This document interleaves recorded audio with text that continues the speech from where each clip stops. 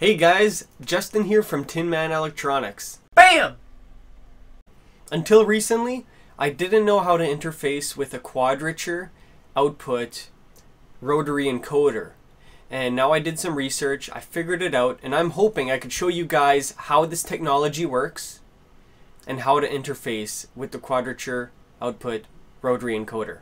There are a couple different technologies for uh, rotary encoders, but the one I'm using I think is is either called incremental or mechanical. It's a, it's a Bourns rotary encoder. I'll, I'll put a link to the the part on their website, and it's it's very simple. It's got a whole bunch of detents. It's basically just like a potentiometer, except when you when you turn it, it just kind of clicks a bit.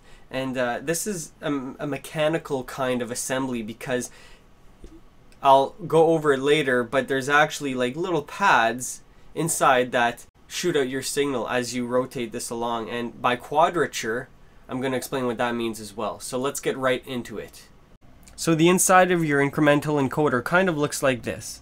Around the shaft, basically rotating as you rotate the shaft, is you've got these different pads all the, like evenly spaced all the way around it. And as you rotate it, these this whole assembly will basically rotate and I'll show you how we use that to our advantage. Actually, in the specific case of my encoder, these pads, evenly spaced around the shaft, are all connected to terminal C. And then I've got my A and B signals. So I could actually, as I move the shaft, these pads will cross over one and then the other signal. So it'll cross over one signal at a time, and that will determine how you find out whether you've moved clockwise or counterclockwise. Here's the output of the rotary encoder, and you can see that as I turn it clockwise, my C my C terminal is going to touch my A terminal first. So we get that signal. A, the A signal pops up first, and then the C will actually make contact with the B terminal, and that one will go up. That signal will go high, and eventually, as I keep turning it, the A signal will be lost because the contact between the the C terminal and the A terminal will be lost, and it, it goes on, and then you lose the B signal. So this is the whole idea have a quadrature output. It's not it's not like a binary output or a grayscale output. Quadrature means that inherently these B sig- this B and the A signal here are out of phase. So when I turn it, one of them will be leading, one of them will be lagging. So using this leading and lagging principle, this quadrature output, all you got to do is figure out which came first, which came second, and then you could determine whether that's clockwise or counterclockwise and, and do stuff accordingly. Here's the application note circuit I used to test out this concept, this technology that I didn't know of before. And when I bought this rotary encoder, I, I checked out the datasheet. I didn't know how to interface with it, so I tried out that app circuit and scoped around, and sure enough, I figured it out. And here is the actual breadboarded version of this app circuit. And there's the encoder. It's nice and beautiful um, from Bourns, a PEC 12R, I believe. And this is how it is. I've got my whatever voltage input, 5 volts in, 0 volts there. And I've got two test points for my A and my B terminal. And then the C terminal, you could see this yellow wire right there. That's connecting straight to ground. So let's show you some waveforms as I uh, turn this cute little bugger. I've hooked up power in the oscilloscope to my circuit so I could show you guys and kind of monitor what's going on with this quadrature output. So I'm basically supplying 5 volts to the A and the B pin, and the C pin, which is common, is uh, as it touches these different points, it's gonna tie them low.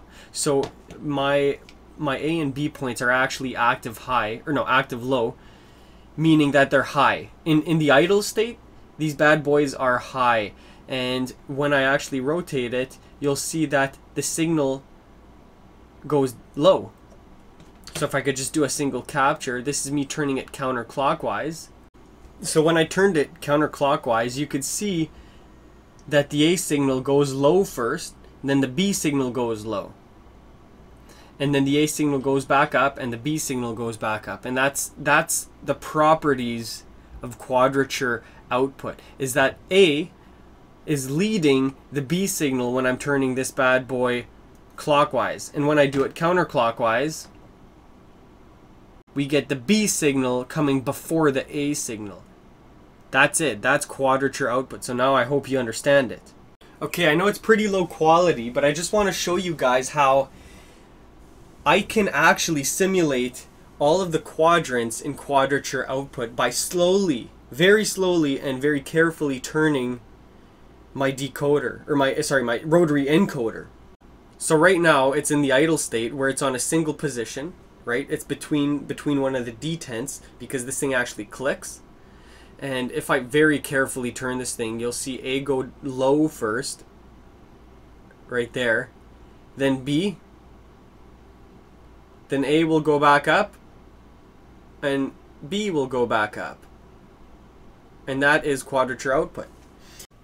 I brought over the circuit that I had near the oscilloscope at my computer desk and I set it up with my Arduino. I just broke out some pins and I've got a very simple sketch here.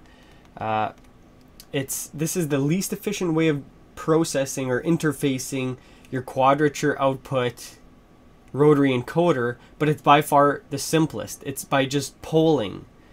It's very simple. Basically, you just it uses up a lot of processing power because the Arduino is constantly looking at the quadrature outputs.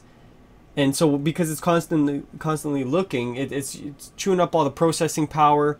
But yeah, you will, sure enough, you can do it this way.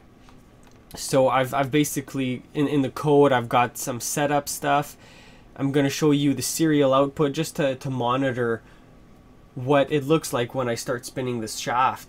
And what's happening is just constantly the Arduino is looking at the state of the A terminal and it's it's it's comparing it to its previous state and it's comparing it to the state of the B terminal. And whenever it sees the characteristic of a, a clockwise or a counterclockwise rotation it will um, do something and and you could ba- you could very easily do that. Maybe I'll put the the code snippet on the website, or maybe I'll put the code snippet on the YouTube channel. But uh, super simple, but it chews up your processing power.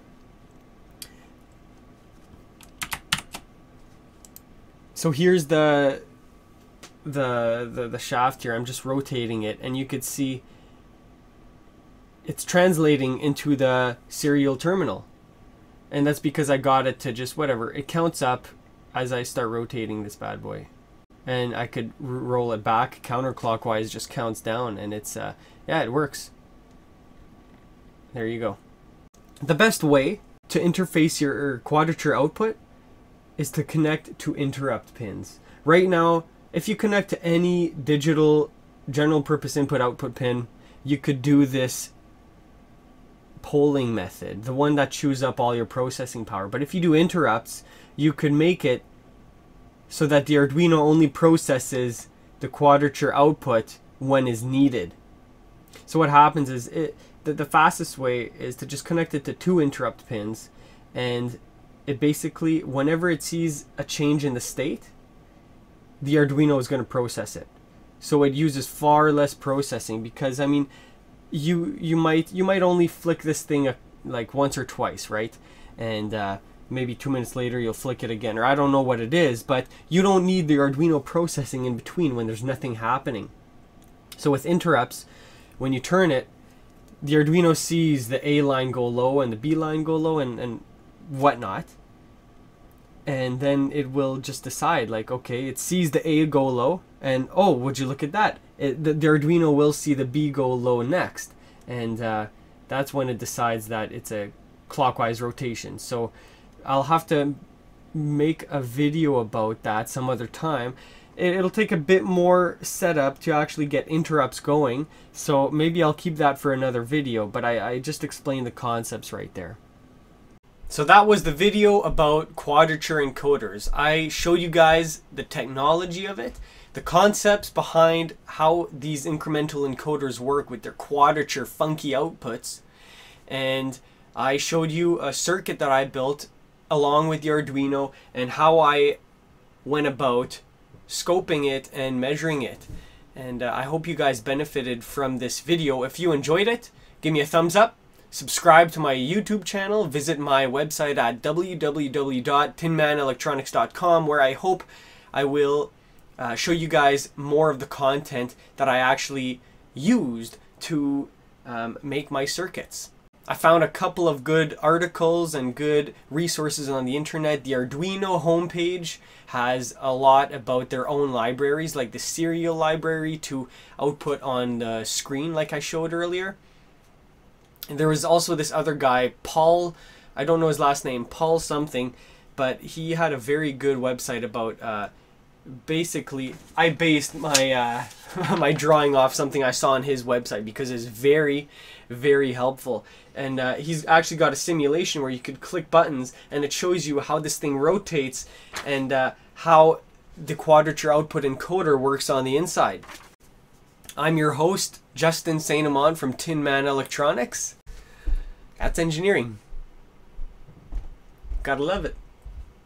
You can take pictures with your scope now. I mean, like, that's crazy. Okay. Cut.